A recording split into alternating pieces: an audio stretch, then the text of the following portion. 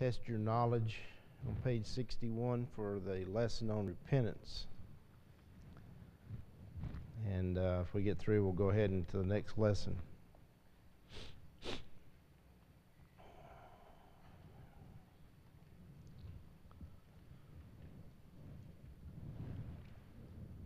I feel like I need to ask somebody to go put another log on the fire. And and Janet was giving me encouraging news this morning. She's looking at her phone and she said, "Guess what? Next weekend it's supposed to do the same thing. Be in the 30s and like rain Saturday. Yeah, it's supposed to."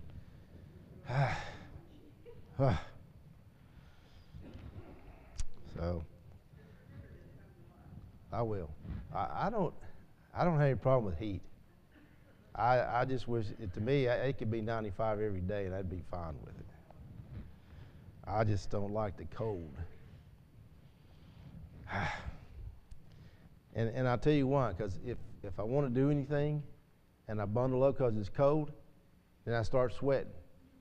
You know, and it's like, well, if you take it off, you're going to start freezing again. So it's like, I don't know. Well, you're right, though. We need to, we need to be thankful. I'm thankful I'm in here right now, that's for sure. Let's start our class with a prayer, and then we'll get into our activity page. Father, we're thankful that you have blessed us in so many ways, that you have watched over us and cared for us, brought us to this point in time today that we have the privilege of gathering and that uh, we can study your word and worship unmolested. We know, Father, that's not the case in in all parts of the world. We pray, Father, for those who come together in difficult circumstances. We pray that in some way they may uh, be relieved of the burden of threats or the pressures of um, trying to meet together to worship. We pray, Father, that you will increase their faith, help us to be mindful of other people uh, such as us that come together to worship but have to struggle with uh, outside influences. We pray, Father, that as we come here freely and to study and worship, that we've come for no other purpose but to to gain a better appreciation for your will and to put that into practice in our lives. And that we're here to strengthen one another and to build each other up. We're here to praise and glorify you and your Son. We pray, Father, you bless us today in our study. Help us to uh, continue to see the ways that our lives can be improved. We pray, Father, that we'll understand that we have come out of sin. We appreciate the opportunity that has been given to us to change our lives. And we pray, Father, that we have done that and we continue to do that as we live before you. This morning, as we gather, we're mindful of many who are unable to be with us. We pray that you'll be with them, to those who are administering to them. We pray that their health may be restored if at all possible. But if not, Father, we pray that you'll give them the peace and the comfort and the understanding that if they're your children, that they are taken care of and they will be uh, given the comfort and peace uh, throughout their life. We pray, Father, that you'll continue with us today as we worship. We pray, Father, that we bring before you fruits that will be sweet smelling and that they will please you in what we do with our lives and how we come today. We pray, Father, that we'll never lose sight of the sacrifice of your Son, that he would go to such extent that he would pour out his blood at Calvary that we might have forgiveness of sins and hope of life eternal. We pray, Father, that you'll be with us every day of our lives. We pray that you will help us and guide us in the way in which you want us to go. May we influence others. May we be uh, those who are not identified with this world, but those who stand apart. And those who have the opportunity to hear the gospel, we pray that they might have open ears and hearts, and that they might at least be given the opportunity to examine the truth. We pray, Father, that if, if at all possible, that they would come to a knowledge and obedience. We pray that you'll be with us today. We pray that you'll continue with us in the days ahead. And we pray, Father, that one day heaven will be our home. We ask in Christ's name. Amen. Okay, page 61. We'll start the activities. Number one, this is a quote from uh, Luke 19:10, and it, it gives a, a, a, very meaningful purpose for why Jesus has come to this earth. And um, he says, "For the Son of Man has come to seek and to save that which was lost." And those are pretty powerful words. The idea of, of seeking, uh, Jesus didn't come here and say, well, you know, I'm the Son of, son of God. Uh, a lot of times referred to as the Son of Man, as in this passage. Uh, the idea of him seeking. He didn't come and sit and say, okay, well, everybody come to me and, uh, you know, tell me what your problems are and talk to me. He went out seeking people. And, and you know, just the idea of, of, of that process. Um, in other passages, we'll read where Jesus is the good shepherd. Well, and there's references to those, the lost sheep, and, and there's, there's parables to that in that regard. The idea that Jesus came seeking us, He came pursuing us. Now, how many times do we pursue our enemies? Well, I know we pursue them in battle to try to destroy them. But how many times would you go pursue those who are contrary to, to what you stand for and ask for you to come and be a part uh, of something? I mean, if you have an ornery neighbor, how many times do you try to go over there and talk to him? Probably not too many times. Well, could you imagine Jesus coming here and seeking us and wanting us to, to be a part of his kingdom? And so that, that idea in itself, that Jesus didn't come here and, and just sit idly by for things to happen around him. He came here seeking and wanting to save those which were lost.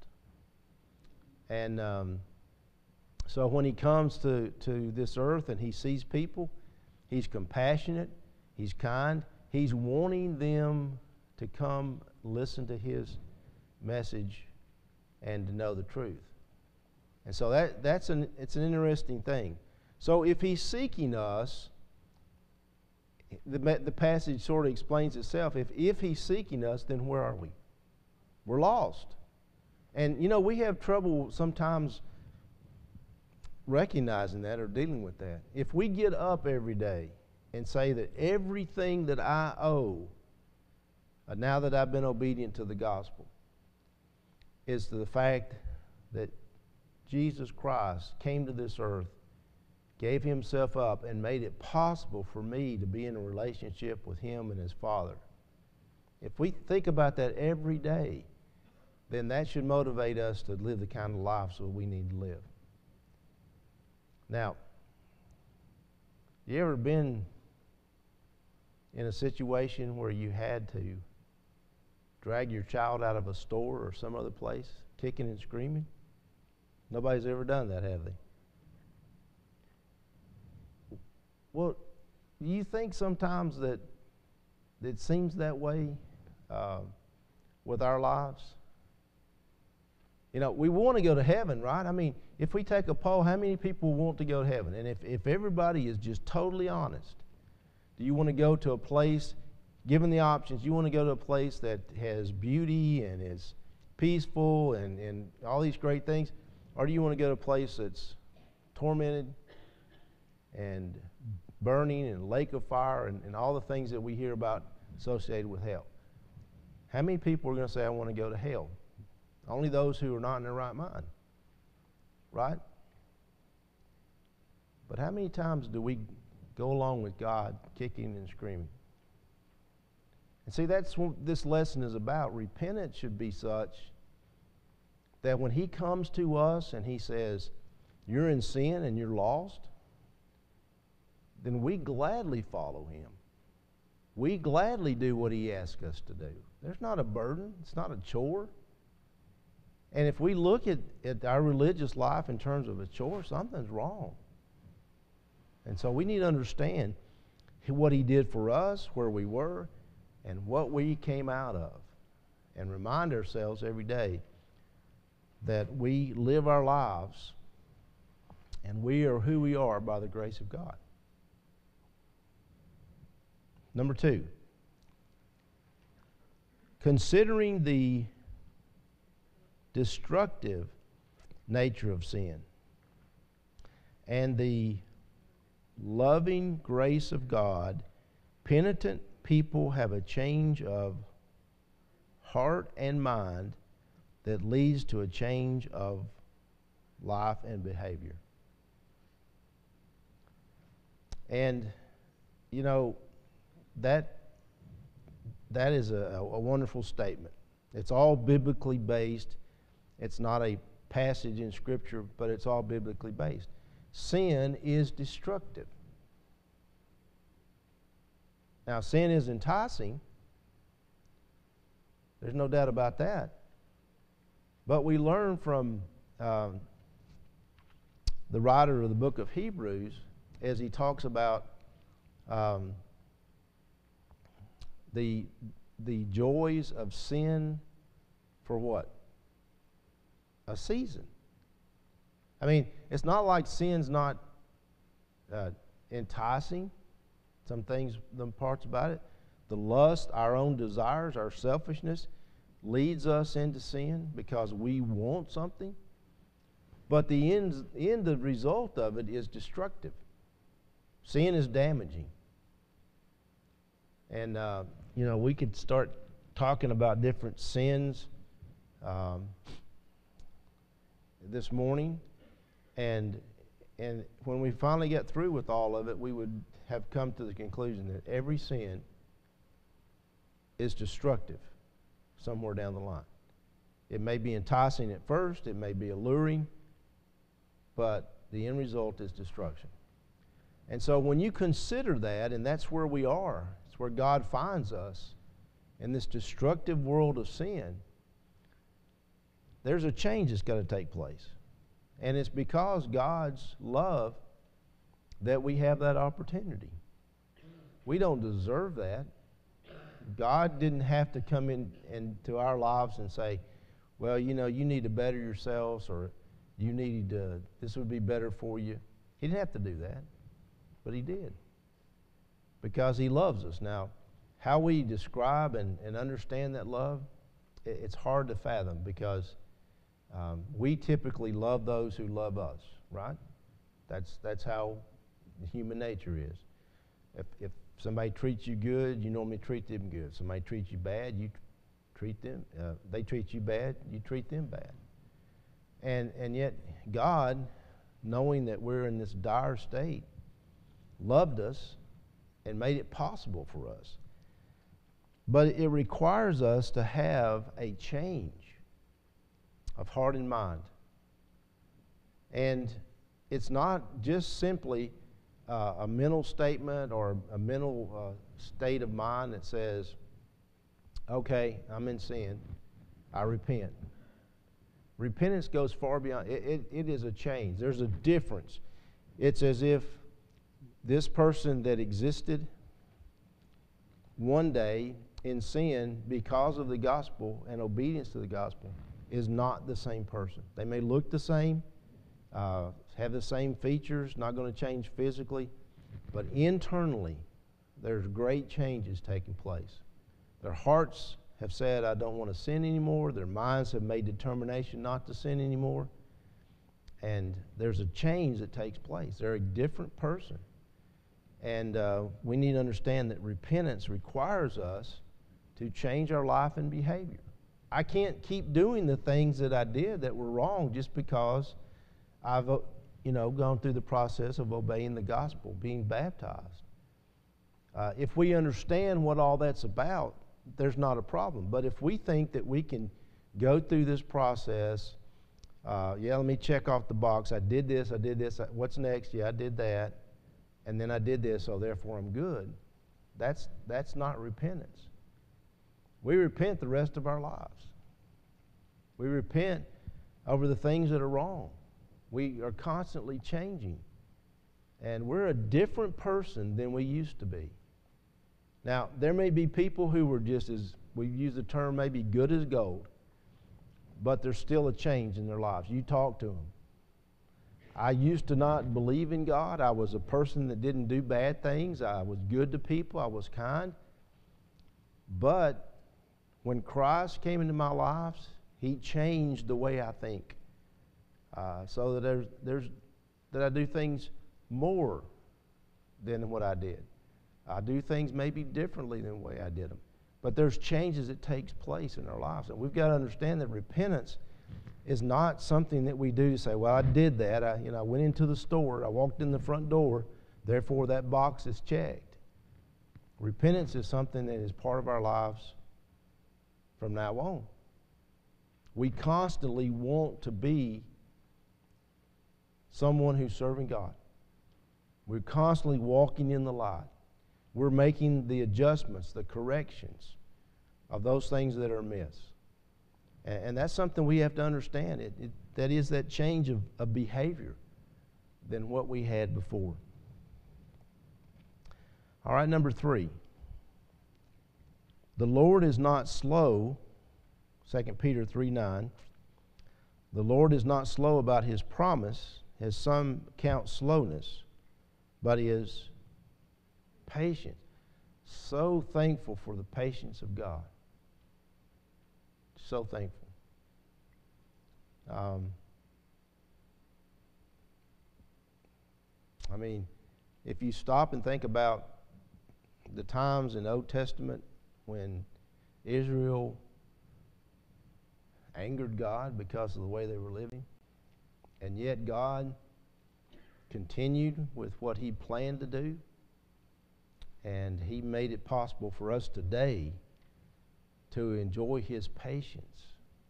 And there's still people today who need His patience, and uh, they've not decided yet to change their lives.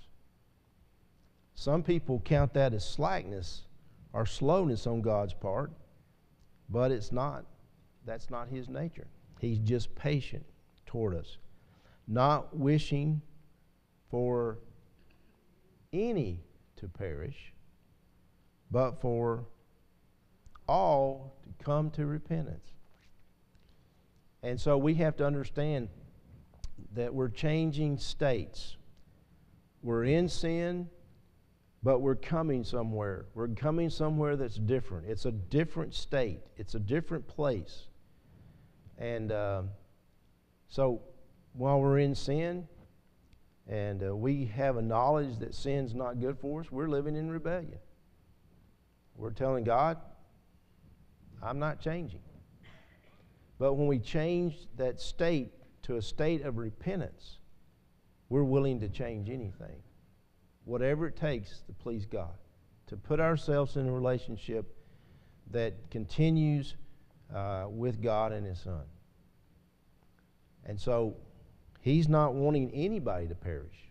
He's given us ample opportunities, but there, that, that will not last forever.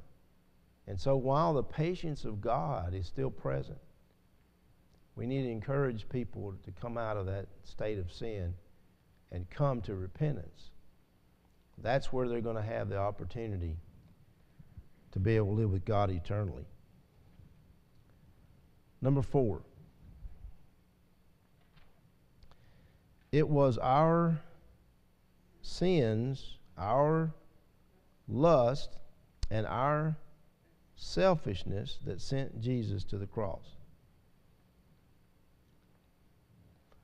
And this is a, a, a concept or a, an understanding of the teaching of scriptures that is a little bit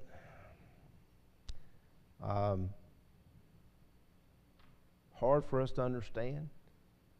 I mean, if you were, if you were to ask a, a, a group of people today uh, that had did not have good Bible knowledge about God's plan, but they had a general understanding that there was this Christ who died on the cross, who would they say crucified Christ? They would say the people in his day. The people in his day wanted him crucified. They may say the religious leaders, they might say the, the crowd uh, that was, was present at the time. How many of us would think about that our sins today, that Jesus went to the cross, and if he was able to do that once and for all, and not have to continually offer sacrifices, but he could do it one time then don't you understand that he would have to do it for all the sins? Even those sins which, in our minds, from a time perspective, haven't been committed yet? You understand the concept that 20 years down the road, there's an individual, as long as this world is going to exist, continue to exist, somewhere down the road, 20 years from now, there's an individual who will recognize that sin is in their lives and they need to repent. You think Jesus went to the cross for the sins of somebody in the future? Well, obviously, he did.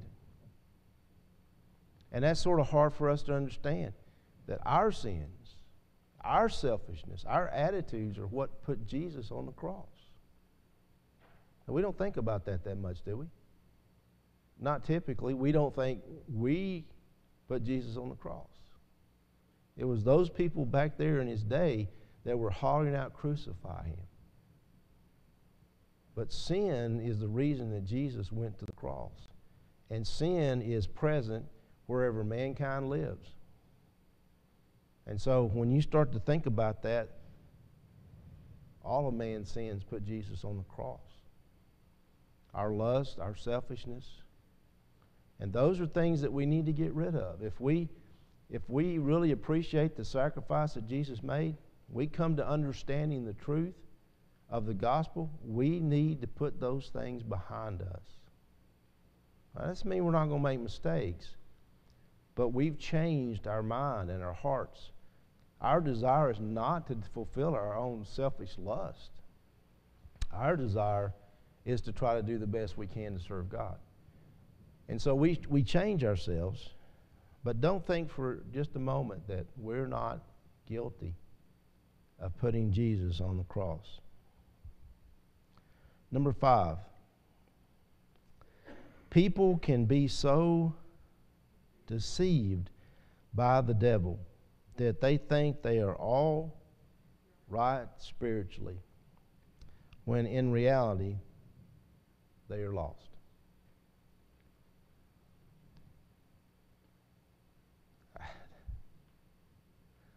I don't know really how to address that. I mean, there's just so much in the world today that's just amazing. I, have talked to people in the past at work, uh, be frustrated. Guys would be frustrated with their mothers. I know one guy, he just, his mother would sit and watch one of the TV evangelists. Um, who's sitting there just raking in money. Um, and she's she believes every word of it. She's just she's just buying everything that's said there. And Satan has caused that kind of deceit. The fact that we feel like we're okay. Have you ever knocked doors uh, in this community and gone up to somebody and said, "Well, you know, we're we're from Maysville and we're we've got a, an outreach here to try to to to talk to people and get them to, to come and hear the truth spoken. And they say, oh, well, I go to so and so down the road here. What are they telling you, in other words? I'm okay. I, I, I go to services somewhere. some religious group. So I'm okay. That's what they're telling you. Now, who's told them that lie? Well, it ultimately goes back to Satan. Satan has put so many lies out in the religious world that there continues to be nothing but chaos. Now, how do you find your way through all that to find the truth? How do you do that? Well, you have to want to. You have to want to know the truth. When you start hearing someone say such and such, such and such, and you say, well, where's that found in the Bible? And uh, here's someone who's sincere and they're part of some religious group, and they say, well, that's not what the Bible says. There's, you know, there's a little light that goes on, a little question mark that should, should flare up that says, well, wait a minute now, you're telling me that this is what we're supposed to believe, but the Bible doesn't say that, doesn't teach that. And I, I, can see that as an honest person, even though I'm part of this religious group. Why are you telling me that? And so if you want to find the truth, you can find it, but what a fog that you have to work your way through to find the truth. It's sad. And Satan has done such a job of making people believe that as long as they're religious, they're okay with God. You don't believe that? Go ask your neighbor. What religious group are you a part of? Okay? Do you believe you're going to heaven? What do you think their answer is going to be? Absolutely. What do you base that on? Well, maybe it's something like because I've accepted Jesus. What does that mean you accepted Jesus? Well, one day somebody said, you got to recognize that you're a sinner and uh, you just accept Jesus. You, you agree that you're a sinner and you, you need to change. And that's what you do. Well, is that what the Bible teaches? Is that how we become a child of God? Because we, we recognize that, that Jesus exists and that we're a sinner? And we say some prayer like, Lord Jesus, uh, please be merciful to me, a sinner, and change my life or something? Well, that's, that's a good thought. It's good that people would come to that conclusion, but it's not a completion of what God has said. And so you ask your religious friends, Are you going to heaven? They're going to say, Yes, going to heaven. I believe the Bible. Well, what part of it do you believe? Where did you come to an understanding of the truth? Well, my preacher, my priest, my whatever that they come up with told me, well, did you investigate whether or not it was what's in Scripture or not? Well, no, I just assumed that he's he's an educated man in, in the Scriptures and he would lead me in the right direction. The fog that's out there is amazing. If you've ever tried to drive in very dense fog, you know how dangerous it is? In the religious world, there's a dense fog. And people have to find the truth. We can try to help them. But Satan has deceived so many people into believing that they're spiritually okay. All right, uh, true or false? Number one, the New Testament reveals the great love that Jesus showed to sinners. True. And, and you know, that's where we started out in, uh, this morning. Jesus came to seek and to save that which was lost it, it just sort of boggles the mind that Jesus, who is deity and came to this earth and lived in the flesh, was seeking out sinners. Now, if you are religious leaders, we'll just start there. That's just as good a place as, as any. If you're religious leaders of the Jews, okay, what were you about? Were you about trying to go find the sinners and pull them out of sin? It's amazing. Here's someone who is God in the flesh who came to this earth and was kind and looking for sinners so that they could be saved. What a concept. I mean, it just it's just not how we are. It's not who we are. That's why it's it's God's plan.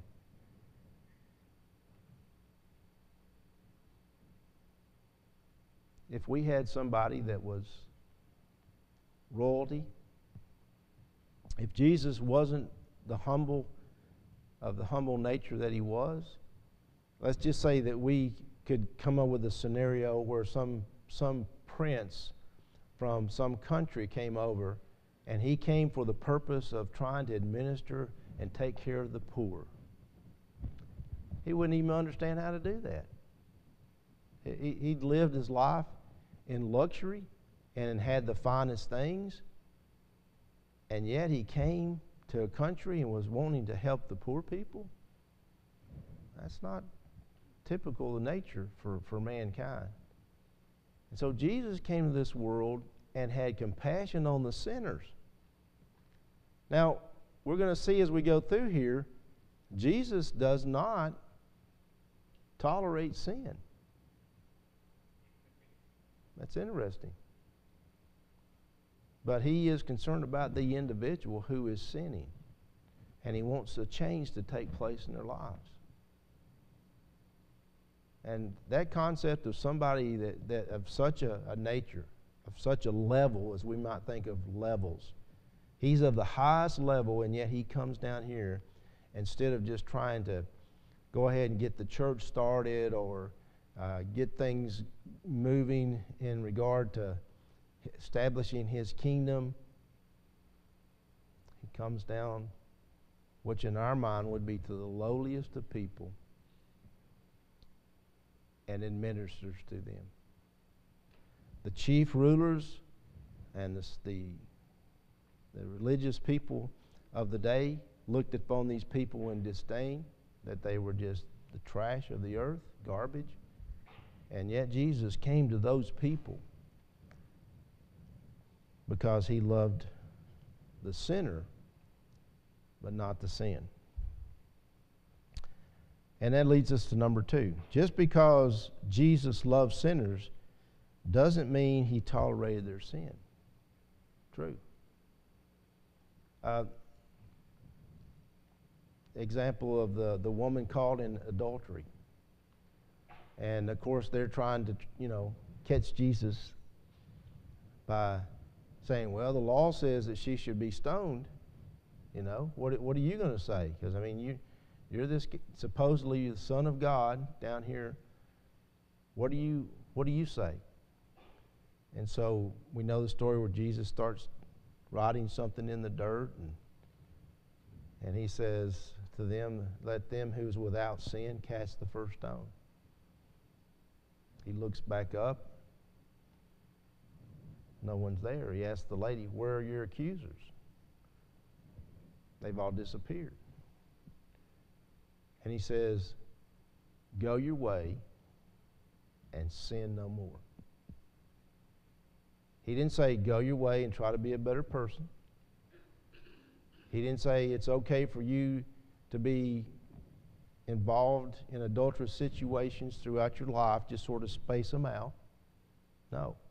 He said, You go your way and you sin no more. And so when we come in contact with sin, in our lives. And we recognize this is not where we need to be. We've got to get as far away from that as we can. Jesus loves the sinner, he hates the sin. And we can't have sin in our lives. Number three, repentance is not optional. True or false? True. I'm going to come to God, and God's just going to accept me just like I am. I've, I've got rough edges, but I'm not changing. Okay? Then God's not going to accept you. You come shaking your fist in the face of God, as it were, He's not going to drag you out of a store like a screaming child. He said, You're going to come serve me today. Repentance is not optional. If we're going to come to God, we must change. And we know what we what we're about. We know as we look at our lives, we know if we're doing things right or if we're not doing things right. We know if we're holding on to sin or, or letting it go. And uh, those things that are not right in our lives, if we are truly repentant of what we are doing and we believe that we need to let go of sin, we'll do it. Say it wasn't tough, and say it was easy, but we'll do it because that's the only way that we can come to God is if we repent. Number four, repentance is merely ceasing to sin. False. Okay, well, what else is involved in that? Change your life, change your heart. You don't just say, "Well, I got caught with that." I'm not. You, you go into the kitchen. Your mother says, "Don't be getting any cookies out of the cookie jar." You hear the cookie jar lid rattle, and mother comes into the kitchen and says, um, "Told you not to get any cookies." Okay. So that's it. You know, that's good enough.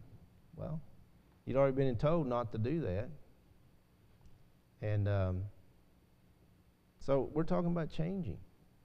We're talking about changing. And um, if we just say, well, okay, I'll just stop where I am, there may be some things that we have really, really messed up. We've really messed up.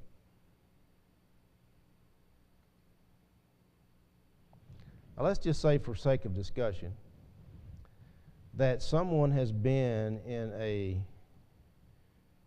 uh, situation to where uh, they left the, lived the lifestyle of uh, fornication.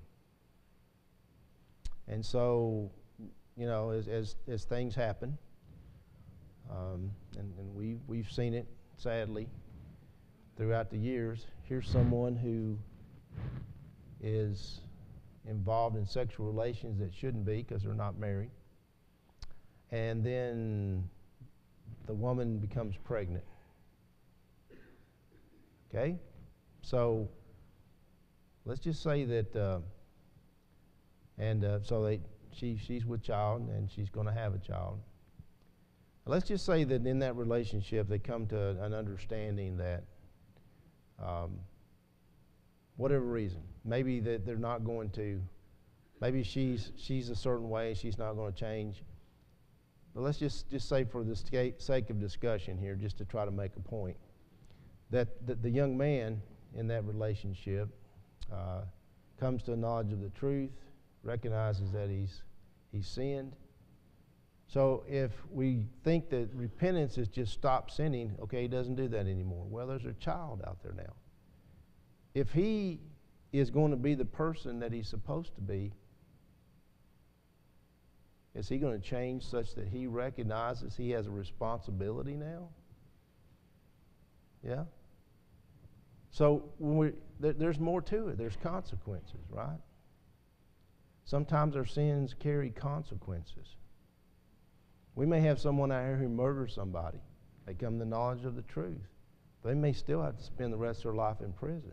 Doesn't mean that they haven't obeyed the truth and changed their lives but they may have to spend the rest of their life in prison. And so we try to do the best we can, given the mess that we've made, of cleaning it up. The best we can. If, if I've said something to somebody and it was not appropriate, and, uh, you know, there's uh, been some uh, separation there, maybe there was a friendship or something and so I said, well, you know, my, my bad. I did wrong. I still need to try to go back and try to make that right and try to reconcile. So repentance is just not merely saying, hey, uh, I made a mistake. I'll stop doing that. It's a matter of trying to make our lives reflect what God would want us to do. Number five, abhor what is evil means we should hate evil people. False. As we've said a couple of times, we hate the sin, the evil that's associated with that, but the sinner is someone that God would love and want them to change. And so if you have the idea that you hate the sin, hate the sinner, guess what? You just mark them off your list. Don't have to worry about them anymore. But that's not the way it is. And so when we see sin, sin is, is nasty, it's destructive. But that person's soul is of value to God. And we need to recognize that we want that sinner to be saved. Now, that's tough. That's not an easy thing to do. But it's something that we need to learn to deal with. Okay, discussion. Go through a couple of these. Define repentance. We've talked about it quite a bit this morning. Change of heart, change of mind, and it's going to be evidenced in the way that our behavior changes, isn't it? Our life is going to be different. And so we need to understand that there, there are various aspects of that. Not only repenting of what we've done, but changing that's, that's visible, uh, inward and possibly outward. It wouldn't have to be uh, necessarily outward, but maybe um, most cases it probably would be because of the, the changes that would take place. Number two, is it difficult to repent of sins?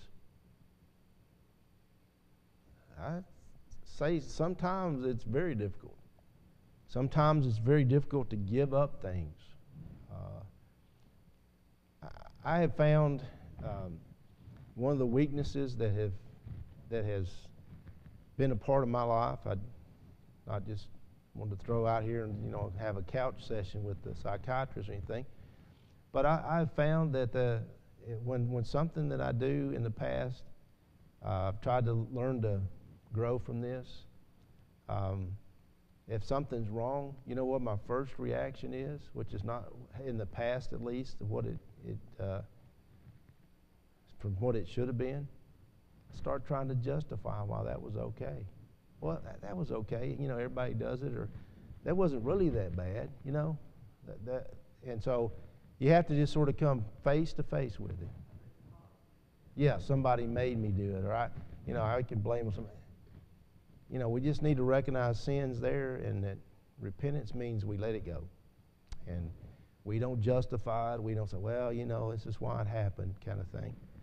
Um, but it, it's difficult sometimes to uh, repent of sins. And uh, some changes may be easy, some changes may be very difficult. Uh, so many things that have been in our lives for a long time that need to be given up. Sometimes the changes are hard. Uh, how can repentance be healing for our souls? Well, repentance is somewhat of a repair, isn't it? We're repairing things. There's something that's, that's, that's not right, it's, it's wrong, it needs to be fixed. And so we're repairing that. And as we repair that, you know, we try to just, just to uh, make it better, smooth it over, make it uh, better, make it put it back where it was, or restore it. Those kind of concepts are associated with repentance. And so it heals our souls. It, it, it fills in those holes that we've made because of mistakes. Exactly, exactly. It does, it, it absolutely. You know, sin recognized in, in our lives, it's a burden, isn't it? It's just, we know things aren't right. We want, we want things to be different, but you know, we have to work to make that happen. We can't just carry it around with us. And uh, God's given us that avenue to, to just let go of it. You know, do the best you can. Some things you may not be able to do restitution for, or you may not be able to repair, but you do the best you can, and then you learn to move on because God has forgiven us and He gives us that avenue. All right, next week we're going to be talking about confession, and uh, so look at lesson seven when you get a chance, and we'll be ready to start that next week. Thanks for being here.